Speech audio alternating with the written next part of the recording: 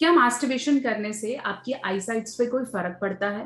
बहुत से ऐसे यंग बच्चे हैं जिन्हें लगता है या जिन्होंने ये मिथ सुना है कि बहुत ज़्यादा मास्टिवेशन कर लो तो आपकी आँखें खराब हो जाएँगी, बाल झड़ जाएँगे फेस पे पिंपल्स हो जाएँगे। कितना सही है, कितना गलत है। नमस्कार, मैं हूँ डॉक्टर नेहा मेहता। मैं एक सेक्स काउंसलर हूँ और पिछले काफ़ी सालों से प्रैक्टिस कर रही हूँ। अपनी हर वीडियो के माध्यम से सेक्स से जुड़ी सही जानकारी आप तक पहुँचाने की कोशिश कर रही हूँ। और आज बात करती हूँ कि आपके आँखों की रोशनी और आपके सेल्फ प्लेजर मतलब मास्टरबेशन का कितना रिलेशन है? क्या ये मिथ सही है या गलत है? आँखों की रोशनी कितनी कॉम्प्रोमाइज होती है? और अगर आपने ऐसा एक्सपीरियंस किया है तो क्या ये मास्टरबेशन की वजह से है? कोई और रीजन है? सबके बारे में बात करेंगे। मुझे पता है आप ये वीडियो पूरा देखने वाले हैं। तो अगर आप इस चैनल पे नए हैं तो इसे सब्सक्राइब करना नहीं भूलेंगे। साथ साथ अगर आपको ये लगता है कि वीडियो बेनिफिशियल रही है तो इसे आपने लाइक और शेयर ज़रूर करना है।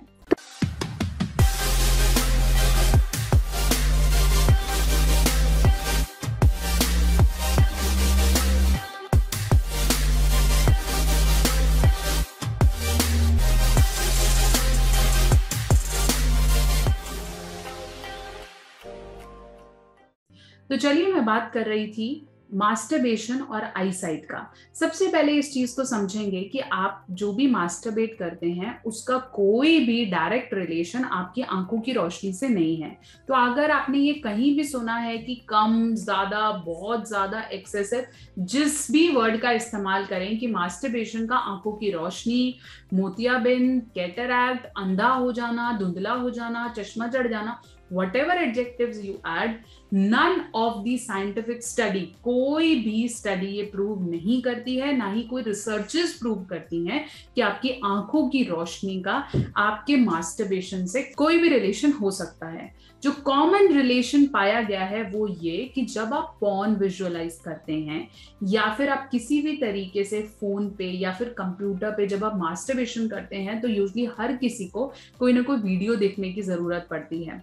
जब आप वो वीडियो देखते हैं यूजली आप उसे डिम लाइट में देखना चाहते हैं, अंधेरे में देखते हैं, घर पे कोई ना हो तब देखते हैं। और ये आप इसलिए देखते हो क्योंकि आपको अपने पकड़े जाने का डर रहता है। जब आप आँखों पे बहुत ज़्यादा स्ट्रेन डालकर इस तरह की कोई वीडियो देख रहे हो तो अल्टीमेटली आप वो करते करते मास्टरबेट कर रहे हो तो आपका लिंक हो सकता है मास्टरबेशन और पॉन से हो जाए। या फिर, भाई मैं मास्टरबेट कर रहा हूँ, इस वजह से ऐसा हो रहा है। जबकि रीजन ये है कि आप उसे डिम लाइट में देख रहे हो छोटी सी फ़ोन की स्क्रीन में देख रहे हो डरते डरते देख रहे हो, जिससे आपकी आँख को बहुत ज़्यादा स्ट्रेन रहता है।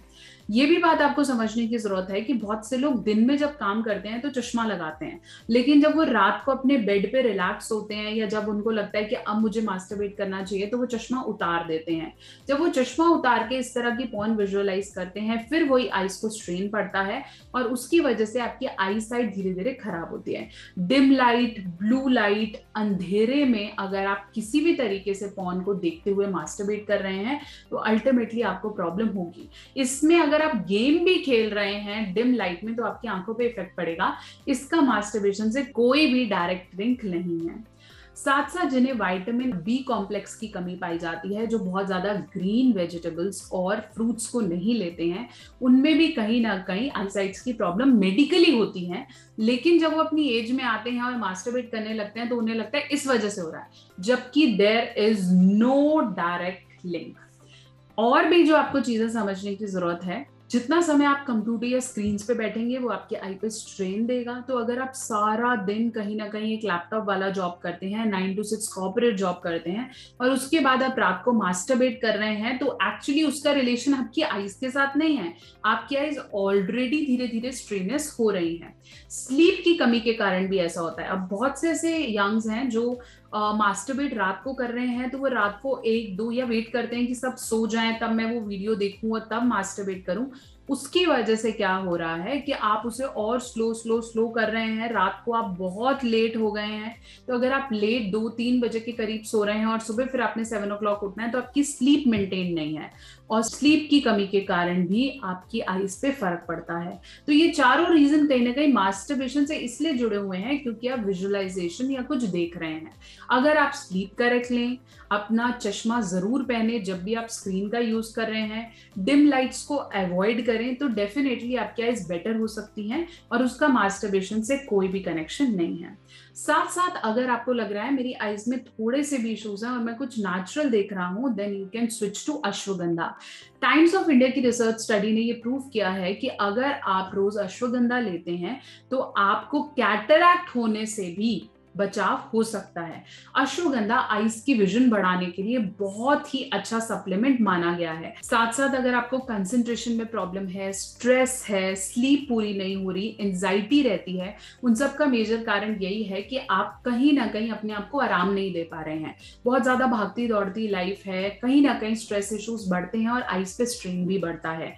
स्लीप भी नॉर्मल नहीं हो पाती। ऐसे में भी अश्वगंधा एक बहुत अच्छा एजेंट है। चाहे आप माइनर से मेजर किसी भी तरह का मास्टरबेशन करते हैं और कहीं ना कहीं आप थोड़ा सा वरिड हैं तो भी आप अश्वगंधा को अपनी डाइट में इंक्लूड कर सकते हैं। दो tablets daily 30 minutes after meal is the best recommended dose आशा करती हूँ कि मेरी वीडियो आपके बहुत से डाउट्स को क्लियर कर पाई है। बहुत जल्दी एक और वीडियो लेकर मैं हाजिर होंगी। तब तक के लिए आपकी कोई भी डाउट है मास्टरबेशन से रिलेटेड उसे कमेंट सेक्शन में लिख भेजें।